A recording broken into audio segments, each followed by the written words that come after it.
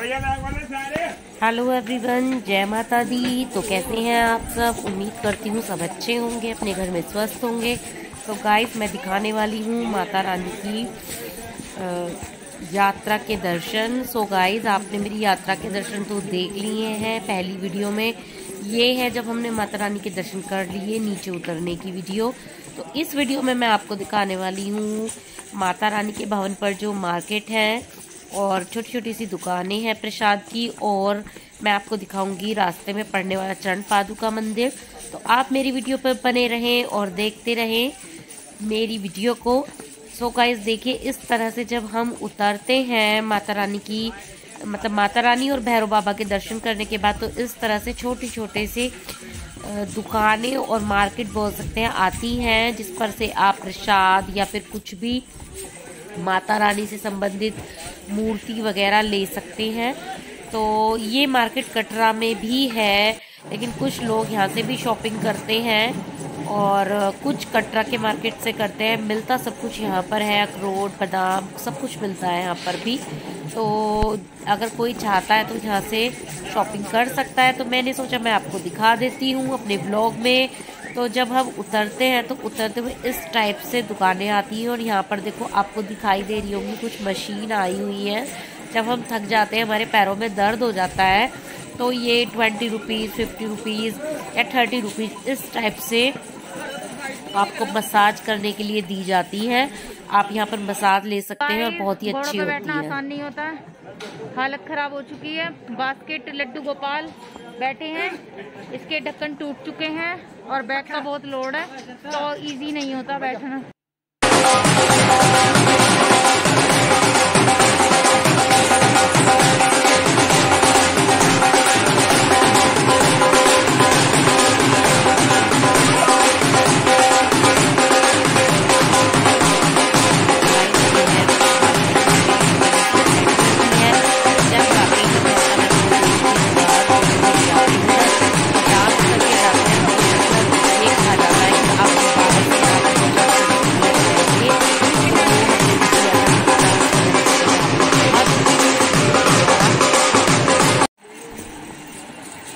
जय माता दी फिर से दोस्तों तो देखिए इस तरह की मसाज करने की मशीन है। यहाँ पर कुछ लोग मसाज भी कर रहे हैं। तो बहुत ही अच्छा लगता है। हमने भी लास्ट टाइम जब हम आए थे तब ली थी अब की बार नहीं ली है क्योंकि हमारे यहाँ घोड़ों से और सब थक तो गाइस यहाँ पर होती है मसाज ट्वेंटी रुपीज़ हम हमेशा पैदल यात्रा करते हैं। फाइव मिनट लेकिन अब की बार क्या हुआ तो अगर कोई थक चुका है और अपने पैरों की मसाज कराना चाहता है तो वो करा जा रहा था बहुत ज़्यादा पूरा मार्केट हो रही थी तो इसी वजह से हम करे हैं घोड़े और हम उतर रहे हैं गाइस तो देखिए किस तरह से पूरा सुंदर छोटी छोटी दुकानें बनी हुई हैं और बहुत ही अच्छी लगती हैं। देखिए मैं दिखा देती हूँ आपको। तो देखो किस तरह से पूरा भवन से लेके नीचे तक दुकानें बनी हुई हैं। यहाँ पर आप चाहें तो फोटोग्राफी भी करा सकते हैं और आते हुए अपनी फ़ोटो भी ले सकते हैं।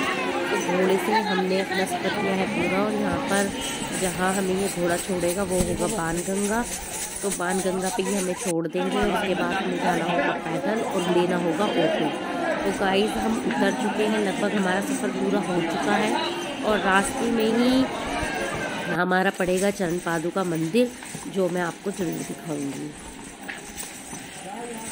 तो गाइस देखिए तो यहाँ पर हो जाता है सफ़र पूरा।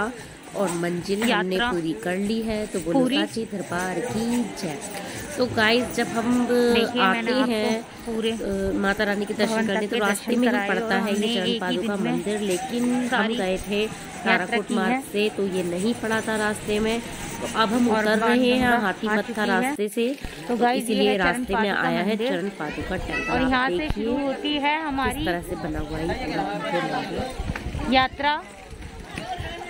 तो बहुत ही प्यारी सजावट हो रखी तो है यहाँ पर और बहुत ही सुंदर मंदिर है और हम बाहर से ही माता रानी को नमस्कार कर लेते हैं क्योंकि इतना समय नहीं है।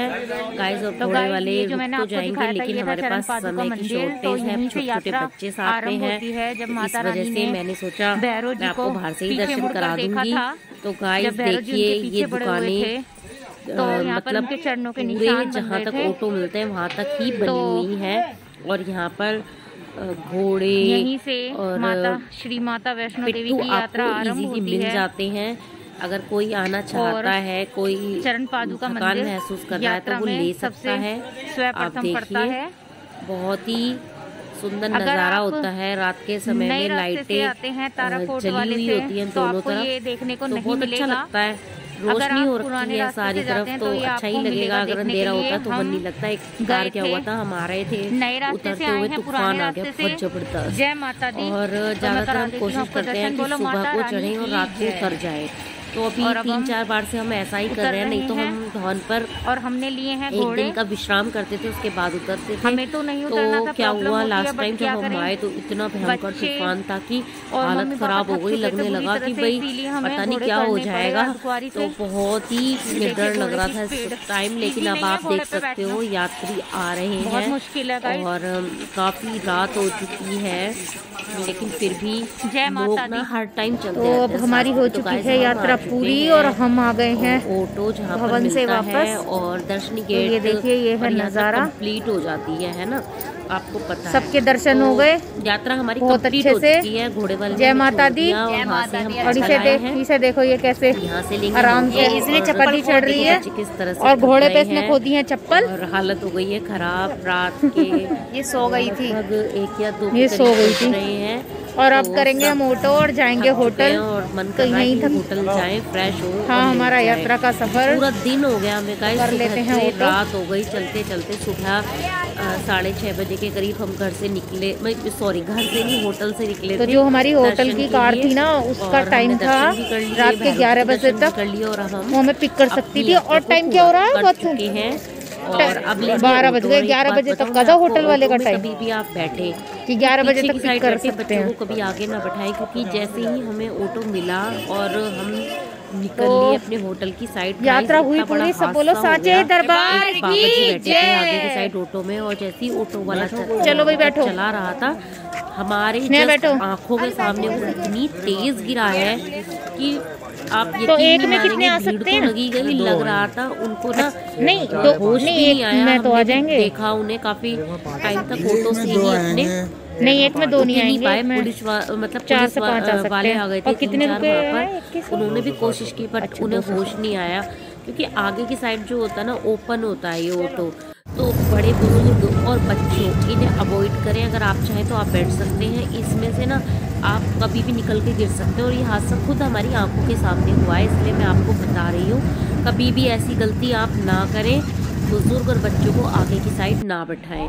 तो गाइस हो चुकी है सुबह होटल हम पहुँच चुके थे और अब होटल में किया हमने रात को रेस्ट अब निकल लिए हम अपने घर की ओर। और, और यह है रास्ते का सफ़र। और घर जाने से पहले हमने लिए कुछ अखरोट और बादाम किशमिश ये जो अनवी फ्रूट ड्राई फ्रूट्स दिख रही है आपको यहाँ से लिए थे। उसका व्लॉग मैंने आपको अलग से दिया है प्रसाद का तो आप देख सकते हैं मेरे आ, मतलब व्लॉग में व्लॉग्स में जाकर। और अब कितना सुहावना मौसम हो रहा है। देखिए पहाड़ ही पहाड़ चारों तरफ़ greenery greenery what a beautiful नज़ारा मेरी नज़रों में तो बहुत है और सही। लोग का इतना आनंद नहीं आता जितना कि रास्तों का आता। है बहुत ही अच्छा लगता है। जाकर से पहाड़ और अपनी नेचर ग्रीनरी उसको देखते हुए। बस लोग ड्राइव पर निकल जाओ। तो वो ही है। और आप देखो मेरी इस वीडियो में कि जम्मू से कटरा तक का सफ़र कितना सुहावना है। और मैं रास्ते में भी आपको दिखाऊँगी पूरा कि अब घर कैसे पहुँचे। तो आप मेरी वीडियो में देखिए और ये वीडियो मैंने बनाई हुई थी तो सोचा कि आपके साथ शेयर कर देती हूँ। गाइस काफ़ी टाइम हो गया था, और बीच में बिल्कुल समय नहीं मिला वीडियो को एडिट करने का। तो आज मैं इसको एडिट करके आपको क्योंकि और रास्ते में जब आप जाते हैं ना तो आपको किस तरह से बंदर दिखाई देते हैं उनको आप बिस्किट वगैरह दे सकते हैं। देखिए कितनी ज़्यादा ग्रीनरी है सारे रास्ते में। और बहुत ही अच्छा लगा हमें यहाँ पर। बहुत ही प्यारा और ब्यूटीफुल नज़ारा है रोड्स का।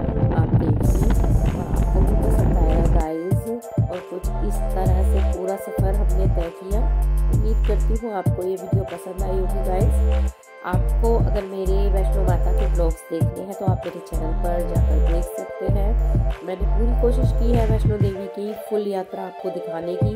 जो भी कुछ मैंने कैप्चर किया था अपने ब्लॉग्स में दिखाया है गाइस और ज़्यादा से ज़्यादा दिखाया है, मेरे ब्लॉग्स काफ़ी बड़े हो गए हैं, लेकिन मैंने इसलिए बनाए हैं क्योंकि जो भी कुछ था, वहाँ इतना ब्यूटीफुल था। मैंने सब कुछ कैप्चर किया।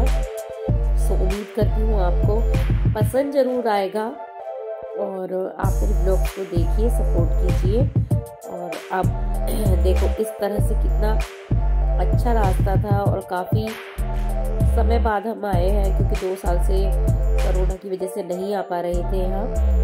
लेकिन आप आए हैं तो बहुत अच्छा लग रहा है। रास्ते में हम चुके हैं, क्योंकि बच्चों को भूख लगी थी बहुत तेज़ और हमने सोचा अब थोड़ा गाज़ियाबाद जाना था।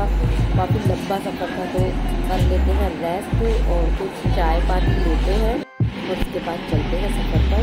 तो बच्चे आ गए हैं ढाबे पे और ये रास्ते में ही ढाबा पड़ा था और काफ़ी नीट क्लीन था, ऐसा नहीं था कि रास्ते में है तो बेकार है तो हमने ये कुछ चाय बिस्किट यहाँ पर और फिर आगे का सफ़र किया तय।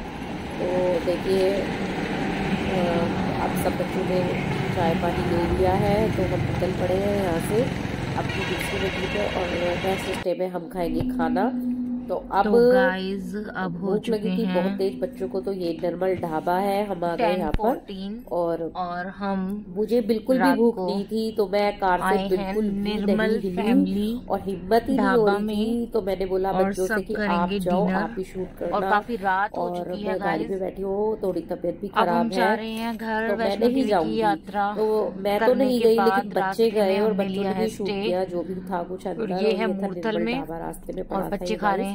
खाना और उसके बाद निकलेंगे घर के लिए। विद इन वन आवर लग जाएगा और घर पहुँच जाएँगे। तो इस तरह से हमने पूरी की अपनी वैष्णो देवी यात्रा। आपको व्लॉग देते रहेंगे हम। धीरे धीरे व्लॉग्स आएँगे। टाइम लगेगा गाइस और पार्ट्स आएँगे व्लॉग के क्योंकि वीडियो बहुत ज़्यादा लंबी हो जाएँगी अगर मैं एक ही पार्ट में बनाऊँगी तो आप देखना ज़रूर। तो मिलते हैं नेक्स्ट वीडियो नेक्स्ट व्लॉग में। तब तक के लिए bye bye good night everyone जय माता दी।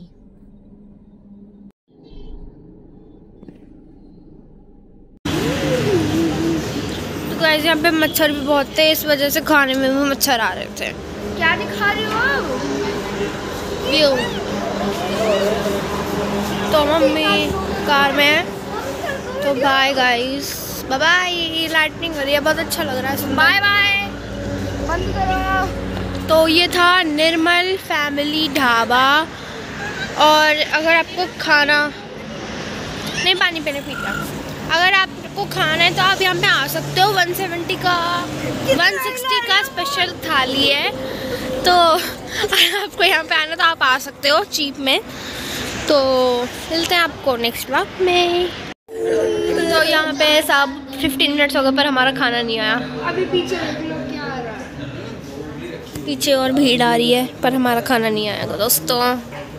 दोस्तों हम भूख के मारे पेट में दर्द हो रहा है भूख के लिए। और अभी हो रहे हैं टेन ट्वेंटी फोर सो अभी हम वेट करते हैं जब तक खाना आएगा। जब तक के लिए टाटा बाय बाय।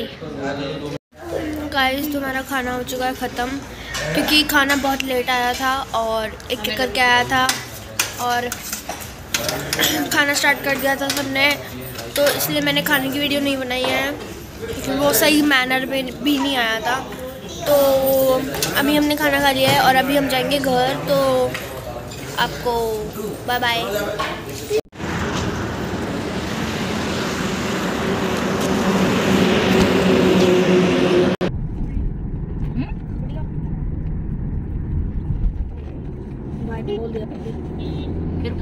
आ गया गरम धरम ढाबा। ये है रात का नज़ारा गरम धरम ढाबे का। और जस्ट उसके पास है अमृत सुखदेव। भीड़ देखो कितनी ज़बरदस्त और भीड़ कितनी है? कोई कोरोना को नहीं कोरोना की कोई तो इस रोड पर ढाबे ही ढाबे हैं। और ये है मूर्थल गाइस और अब हम पहुँच चुके हैं मूर्थल में। देर बाद हम और कुछ देर बाद पहुँच जाएँगे हम घर। अब आ गया है शिवा ढाबा। तो अब ये हमारे जाने का व्लॉग है। हाँ।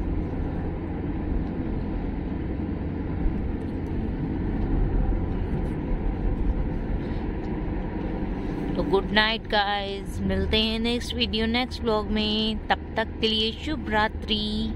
जय माता दी।